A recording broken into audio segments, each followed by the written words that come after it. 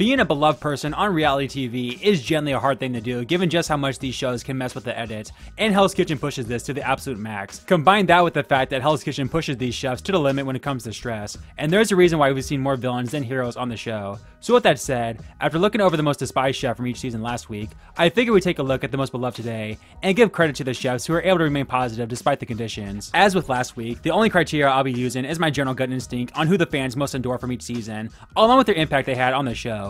Be sure to like and subscribe to support the channel, and with that, let's take a look at who is indeed the most beloved chef from each Hell's Kitchen season. Bloody hell, here I go again.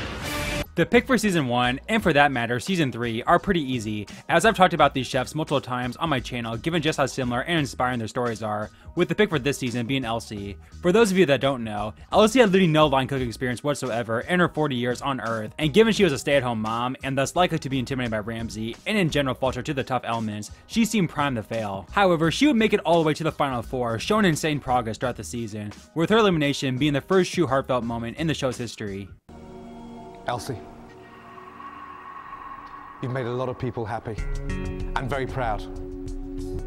And behind that, you touched my heart. Thank you, Chef. Appreciate it. Keep smiling. Well, You light up the place when you smile. Oh, you're good. I did it, and I'm proud of myself, and the guys are proud of me, and it's a good feeling. I did it! I did it! I did it! Coming into this, it was a long shot. And then I got as far as I did. I didn't win the restaurant, but I won. Nonetheless. While you could absolutely make the argument for Keith or Rachel being the most beloved chef from season 2, I feel like I have to choose the winner of the season in Heather. After Michael won the OG season using strategic and villainous tactics, Heather would win Hell's Kitchen simply on dominance and skill alone, even shining as a leader as the only woman in the all-male kitchen, the first chef to ever go through this. Again, even if you don't love Heather, you have to respect her, as she is in some ways the first true legendary figure of Hell's Kitchen. Get it wicked hot first. I totally feel like I'm the babysitter of the blue team. Yeah. Is it hot? Listen, No. No. Put it back in the oven. Virginia, one minute. I'm ready. Yes. 45 seconds. You ready? I will be in 45 seconds. let's go. Wellingtons are being served. Coming down. Yes, Heather, chef. this is amazing. Thank you, chef. Those Wellingtons are cooked perfect. This is the best start we've ever had in Hell's Kitchen. Let's go, Heather, yes? Yes, chef. They loved the Wellington. Thank you, Chef. That's your best performance ever. Thank you. I'm so happy. Oh my god. That was feels like a dream. Ladies and gentlemen, please, the winner of Hell's Kitchen, Heather. As I said, my pick for season 3 has such a similar story to Elsie, with that being Julia. However, unlike Elsie, Julia's lack of experience was actually frowned upon in season 3, as basically everyone else in the cast had fine dining line cooking experience, making this Waffle House cook an outcast early on. But Julia would prove everyone wrong, literally having to stand by the season's winner to be taken out, ending an incredible underdog run that damn near led her to making the finale. Come on, ladies, we're almost there. Plating the meat, guys. Where's the omelette? Where's Right the here, omelette? Ladies, Yes, chef. come here. You've just completed your side. Well done. Julia, you were exceptional. Don't clear down. Get in there and help them finish, yes? Need one minute on this omelet so we can go ahead and set the plates up, and by the time we do, it'll be ready. Music to my ears. I think that people underestimated me coming into the competition, but I think today that um, I've most definitely proven that I do know my way around the kitchen and that I belong here. The hero of the Alhambra High School lunch is Julia. I am so excited. I'm more than excited. I'm ecstatic. I can cook. Not only can I cook, but I, I make my food taste good. Ah, thank you, Julia! I know that Chef Ramsay, he's only hard on us to make us better because it's made me so much better. I know that great things will come out of this, you know, just starting with culinary arts school. Clearly, Julia does have it. All she needs is a little more experience. After that, she'll be ready to run her own restaurant. My season 4 pick goes to Matt, as the guy fought through service despite having a migraine. I mean, you have to respect the pure determination and willpower. Oh, come on, I'm joking. Of course, the pick here is Petrozza. Yeah, other than Sterling, I don't think there's been a more beloved chef in the show's history than Petrozza, as he maintained a strong heart and showed nothing but love for his teammates in this tough and cutthroat competition. And not only that, but he turned into a beast after a slow start, and is still considered one of the best to never win to this day. You really can't be much more liked than Petrozza, and as always, may he rest in peace. Petrozza, Yes, chef. who are you nominating and why? I'm gonna nominate myself, chef. I can't pick any of these guys. They worked too hard, and we came in today and worked our asses off. Your level of maturity stands out. You're the most gracious man on that team. Thank you, chef. Really well done. Huh? Let's go. It's been a tough journey. It's been long, but it's been good. It's been good. I've met so many beautiful people. So many beautiful people. How priceless is that? Despite season 5 being such a beloved season, there's really not many standout prototypical love chefs. I mean, yeah, chefs like Giovanni, Roberts, and LA all made deep runs and had their moments, but I don't think they necessarily stand out as super fan favorites compared to other chefs on this list. So with that said, I think it's a toss up between the final two of Danny and Paula, and due to Danny's arrogance at times, my pick goes to Paula. And yeah, in a similar case to Heather, you can't help but love Paula, as she wasn't about the drama and cattiness that you see a ton from in the show. She simply put her head down and dominated the competition, and yet never got a big head despite her greatness. Again, while I'm sure chefs like Robert and Gio have more vocal fans, I don't think I've ever met anyone who doesn't love Paula, which is why she takes the spot as most beloved chef for season 5. Paula, Yes, chef. come here. Yes, chef. That's perfectly cooked. Thank you, chef. Absolutely perfect. Thank you. That, madam, Yes, chef. is the best Wellington we've ever sent. Thank you, chef. Thank you. Soup. Scott, I don't know what that is, but it's not the watercress soup. Can you redo that, please? Well done. I was channeling a little bit of my inner Chef Ramsay, so I, I busted Scott on that one. All right, guys, let's go. Three Wellingtons, one Dory, one minute. Paula is a solid competitor. She is a solid chef. Coming in second place in Hell's Kitchen is definitely not going to stop me. There's so many doors are going to open up. I am not one least bit upset right now. I'm walking out of here a winner. While Van is no doubt an all-time fan favorite, and Tennille's underdog run is still one of the greatest storylines reality TV has ever produced, I simply feel I have no choice but to choose Dave for season 6. As we all know, Hell's Kitchen is tough enough with two working arms, and the fact that Dave was not only able to push through the pain and dominate HK with one arm, but never once complained about his situation, makes it impossible to hate him. This determination and power of will not only makes him remembered as one of Hell's Kitchen's greatest chefs, but one of the most beloved as well. I need you to get that scene to, okay? Come here. I'm not a quitter and I'm not a wuss. I'm fine. I can take the pain and I'm here to stay. I'm okay. Lamb, please. Two lamb coming to the window, chef. Despite his injury, Two lamb coming to the window. Dave manages to complete the first entrees. I can't believe I won. And it's a dream come true. I'm totally in a state of shock. And I had to fight so hard to stay in the competition, but I wouldn't change any of it. I'm just so grateful to have earned Chef Ramsay's respect. Welcome. Ladies and gentlemen,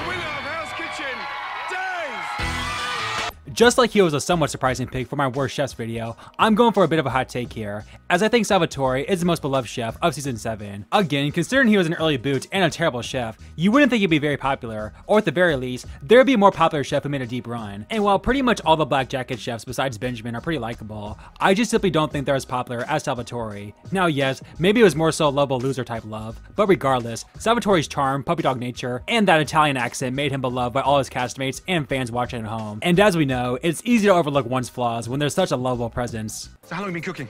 Been in a pizza shop for 20 years, chef. And where are you from? Naples, Italy, chef. How long have you been in the US? 21 years. Holy crap. How come the accent's so strong? For a woman. God. Girls like it in America, so I kept it. You don't like it? I'll bring it right back, senor. Oh, you're cute. Okay. Yes, you went to school, right? No, chef. You did go to school? What were you doing? Came to America because my family needed me, needed money. What were you doing when you didn't go to school? Working every day, chef, to feed, to help my father and my mom bills. I would love to be married with somebody that cares. How many ladies have you slept with? I don't know. Roughly. when did you stop counting? Around 30s, 40s. 30s, 40s. If they're gonna think I'm a metal whore. Good.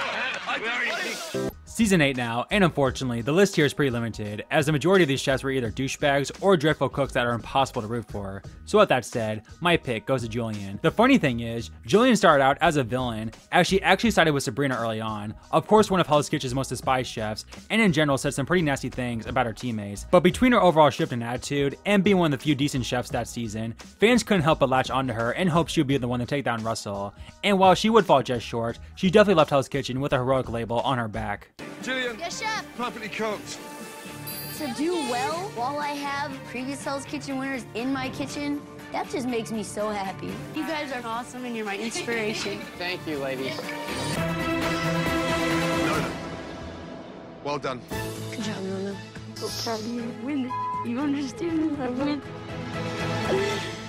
Don't take that jacket off. Yes, chef. You deserve to keep it on. Thank you, chef. Good luck. Well done, my darling. This experience proved to me that I have what it takes to be a chef. Gillian, perfectly cooked. It's hard, but I did the best I could. I burned my hand, that's why I I'm sorry you burnt your hand. I'm not gonna give up. I know this isn't the end for me. Like, honestly, I don't feel like I deserve to be standing here. I, I feel like I should be in the final too, but... She made it this far because of her passion and determination. Unfortunately, it just wasn't enough to get her into the final. Season 9 is such a tough pick, might even be the toughest pick for the video, as while I and many other people would absolutely choose Tommy, I truly think the general belief for most beloved this season has to be Will. To this day, he's literally the only chef in Hell's Kitchen history to not make one dinner service mistake all season. I mean, how can you not respect that? And on top of that, while I'm personally not a fan of his over-the-top nature, you cannot deny his absolute love for food and out-of-this-world passion. Man, if only he didn't backstab Jennifer, and this would be such an easier pick. You also have a zucchini and a broccolini on that dish. Get your broccolini going now, get your spinach going, get everything in the pans and let's rock. So if I have to work fish and garnish at the same time, I'm gonna do what I have to do. If you guys me on this fish, man, I'm gonna be pissed. Will's great at calling out and getting everybody on focus. Tommy, five potatoes, bro. People just don't know how to cook. That was like the biggest I've ever experienced in my life, man. I didn't sign up for this. I signed up to win. We're all supposed to be professional chefs, right? I agree. Right? So what the like, come on, man. I didn't come out here for second. I came out here for first. But if I had to lose to anybody, man, I'm glad it was Paul. Come here, bro. During that, you keep your head. Yeah, bro. Season 10 now, and while guys like Clemenza, Justin, and Brian were all very likable, and you couldn't help but root for Barbie due to all she had to go through, the pick here simply has to be Christina. Christina is not only arguably the most well-known contestant to ever come from Hell's Kitchen, but the fact that she was able to dominate and maintain a smooth composure despite having to deal with the bitchiness of the Season 10 Red Team night after night deserves some massive respect. At the very least, when you look up determination in the dictionary, you likely get a picture of Christina Wilson, truly a legend of the show.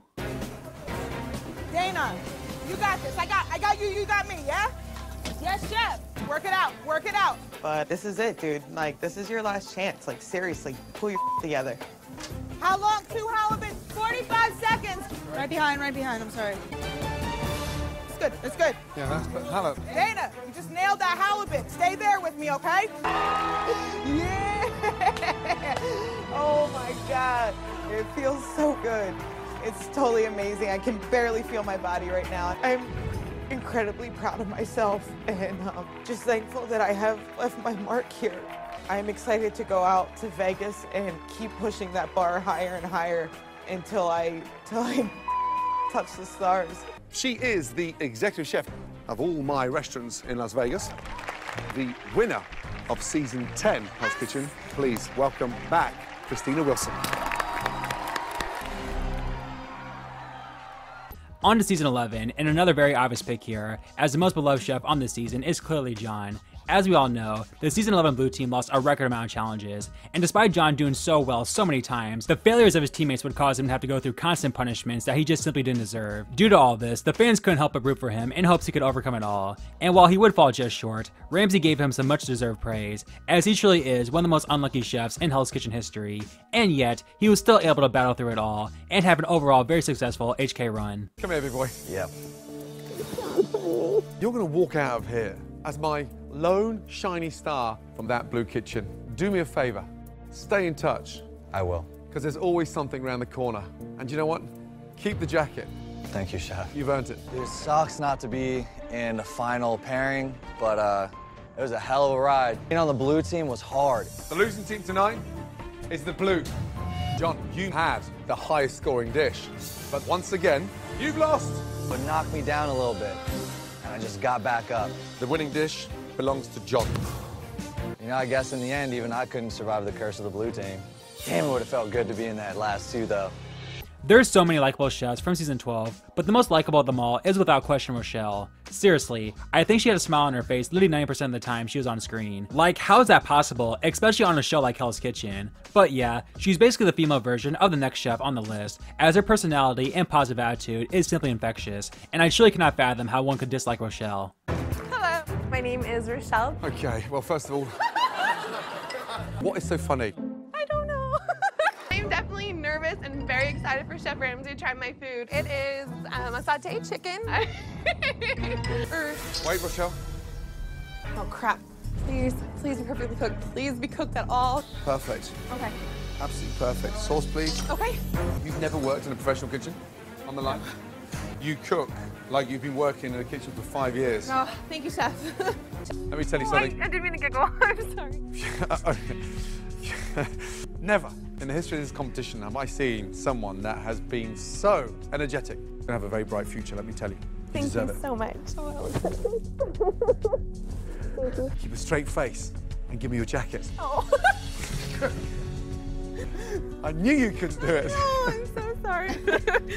The most beloved chef for season 13 is the chef that likely takes the spot for most beloved chef of all time, with that of course being Sterling Wright. And yeah, take what I said about Rochelle and put it here for Sterling, as it's simply impossible to not love the guy. Unless your name is Steve. But yeah, Sterling is simply a legend of the show, as his kind soul and smile will live on forever in the HK fandom. I'm always 100. What's his 100? I'm 100%. Okay, 100%, right. Listen to me, please. Coming up next, four Florentines, one French toast from this side, one crepe. Feel like I was doing orchestra. French toast crepes, Florentine French toast crepes, Florentine how long, Florentine how long. It felt good. The key ingredient I used was love. What does love taste like? You tasting it now. the one dish that stood out that was a clear winner for all of us. Sterling, good job. With love. That was up. That's love, baby. Season 14's cast is one of the most beloved casts in the show's history, as the majority of the chefs were very good and general hardworking people. But one big man stood out from the rest, with that of course being Milly. Milly is the definition of a giant teddy bear, and while he actually did have some fiery moments in both his seasons, his general kind-hearted nature despite his stature and unreal passion for food remains unmatched. You okay? Um, What's on your mind? just need so much more experience. That's it. You underestimate yourself. You can cook. Yes, Chef. Chef Ramsay is expecting a lot out of me. I can't let him down. You know, I can't let myself down. So, you know, it's go time. All of you are going to be giving back to the Midnight Mission. It's committed to providing great food and counseling to people in need. So I volunteered your services. Yes, Chef. You okay? No, it's a good deed. It's It's a, a- good deed. It's an amazing deed. People don't understand how real it is when you can't run back to your mom or you can't run back to the family house. Just outside. Food's emotional for you. Yes. That connects. Where does that come from? Food is actually the only thing that I've put 100% in. You get it back? I get my 100% back. You are one of the most passionate chefs I've ever met. It's so nice to see. I always say how season 15 and 16 are such similar seasons, and that goes for the beloved picks as well, as both these chefs had extremely similar arcs. For season 15, my pick is Manda. A lovable chef by nature given her stature and spunky attitude, she was able to overcome a somewhat slow start where she was an outcast on the red team, and integrate herself on the blue team despite having a little sexist in the kitchen. This led to her just sneaking into the Black Jackets, a great run for the definition of an on-paper underdog. In this competition, I'm looking forward to everybody else underestimating me. That's kind of awesome. I may be little, but I have big flavor. What is that? Um, so I have a pan-seared salmon with a tomato fennel salad on top. Love the fennel. and tomato salad. That's a very solid four. Yeah, hell yeah, we'll take this chick on our team. Good job. Thank you, chef. You can make it in Hell's Kitchen. You can make it absolutely anywhere. Frank, enough with the attitude. I can't wait to go home and show my kids this new and improved mommy. Jack, Dylan, Audrey, mommy is coming home. Get ready. As I said, the pick for season 16 is very similar in Kim. Kim was also a somewhat weak chef, especially compared to all the other strong red team chefs early on, but was able to scratch and claw her way to the Black Jackets. And yeah, she's definitely sweet and all, but there's really not much more to say than that. But in a season like 16, all you need to do is be somewhat rootable to stand out from the rest of this toxic cast. I've thrown the most out of anybody in this entire competition. More than anyone else, I do deserve a black jacket. Congratulations, Kimberly. Come and get your black jacket. Well done. Thank you. Uh, good job. Thank you, Chef. Amazing. Thank you. I can't believe I made it. I'm so excited. I've come from nothing and I've worked my way up. It's like being a poor person and, and ending up as a CEO. It's the greatest reward ever. I'm proud of you. Thanks. While Nick was a generally liked chef in season 14, it wasn't until All Stars where he really shined to the fan base to become a legend of the show. And not only did the guy dominate an All Star season, but he defended his close friend Michelle after dealing with Elise's antics. And of course, even the biggest Nick haters had to feel for him when he got screwed out of the win due to the final three finale twist. But even though Nick wouldn't win All Stars, he certainly won over all our hearts. This dish is inspired by my husband because we always eat ribeyes at home. Yeah, I can see why he married you. five for five, young man. Thank you. I was eliminated on season 14 because of the meat station. It's like a traffic light. Walk-in strips. Let's go. New York strip, perfect. Thank you, Thank chef. you, chef. Woo! Huge sigh of relief. Service, please. The first chef progressing into the finale is Nick. Well done. Let me tell you something. Yes, chef. You have improved more than any other chef that I've invited back. You're a fast learner, and it shows. Thank you, chef. Season 18 is a very interesting pick, as even though the show brought back some all-time fan favorites, a lot of them were either bust or not that big of a personality compared to their first season. And while I could see the argument for Trev, I think it's between the newbie chefs of Mato and Mia, and narrowly, I gotta go with Mato. Again, it's very tough for me to choose him, as while he wasn't actively a part of the bullying of Trev, he certainly didn't do much to stop it. But nonetheless, the guy was a standout chef talent-wise, and showed a ton of respect throughout his run, which of course culminated in him laying down his chance to change his life forever, to go back to Baton Rouge instead to one up the culinary scene. While he's definitely not a Mia type personality, it's very hard not to root for Mato. Growing up, like we got a cane field, moved so many loads of dirt. Nothing in life comes easy, dude. Nope. Grew up in the country. I've been through way worse than this. And I started picturing my grandfather. He wouldn't have let me slack off on a load back then, so I'm not slacking off now. Hard work doesn't scare me. Hard work is the reason I've got to this point in my career.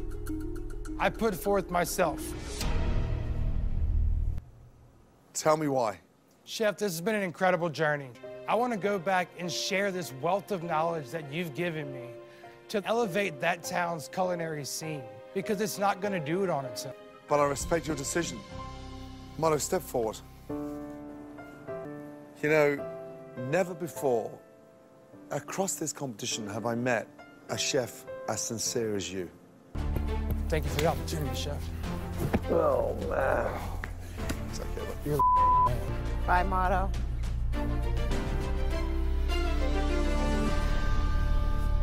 Season 19 may just be the toughest pick of them all, as literally all the final six, minus Amber, are some of the most beloved chefs in the show's history. However, if I had to choose just one, my pick narrowly goes to Mary Lou. While maybe she didn't have the underdog narrative that Nikki had, she represents the positive nature of the season 19 cast to a T with her infectious smile and spunky attitude. And of course her showmance with Cody is one of, if not literally the only cute showmance in the show's history. And to be blunt, I think there's also one other obvious reason why she stands out from the rest of the cast. You're a nice person, and you're and you're pretty. Yes. Thanks, buddy. I think Cody's very nice. I really like talking to him. I'm having fun getting to know him. Uh, speed. Yay, I win!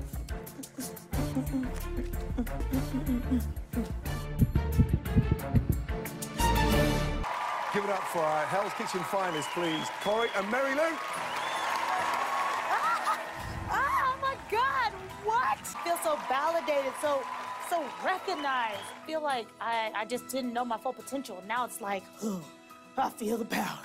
Season 20 Young Guns, and we have another easy choice, as the pick here is Steve. And in an interesting spin from the other chefs on this list, while most of the heroic chefs are spunky and full of joy, Steve was very quiet and had an overall monotone personality. But that's exactly what made him so loved by the fan base, as in a show full of over-the-top personalities, Steve's cool and collective attitude earned him massive respect from Ramsay, his teammates, and the fans watching at home, and yet despite his straight face, you could absolutely tell he had a massive passion for food due to his hardworking nature.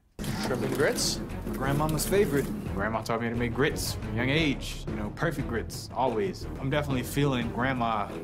Her spirit is kind of channeling through my spine. I can feel it a little bit. I feel like she would be so proud seeing me thrive doing something that I absolutely love to do and seeing something that she inspired me to do. Why shrimp and grits? Uh, shrimp and grits was always like my grandmother's favorite dish. And I mean, she's the whole reason I'm here. She's the one who got me started in cooking. Dish is well executed. It's got a great visual impact. Good job. Well done. The final chef to receive a black jacket is Steve. I think you've just cooked the best dish you've ever produced in this competition. Thank you, chef. It's one of the most passionate dishes I've tasted from you. Thank you, chef. I don't know if I could have done this without old Nana, because the whole reason I got this jacket is because of that woman. I'm just so grateful that she took the time to teach me all the things that she taught me. We finish off with a unique case here, as Battle of the Ages had a lot of like chefs, but no true beloved chefs. So with that said, my pick for this season goes to Alex. Not only was he a standout personality compared to a somewhat forgettable cast, but he dominated HK en route to becoming the first ever 40 plus winner, becoming one of Hell's Kitchen's all-time greats in the process. The love of food, background, where did it start? I started in the industry before food was really a cool thing in Nashville, so I was very much self-taught, and then I opened my own restaurant in 2018. And what happened? Uh, COVID. Right. Brutal. Words can't. Yeah. Well, you're here now. I am. Three.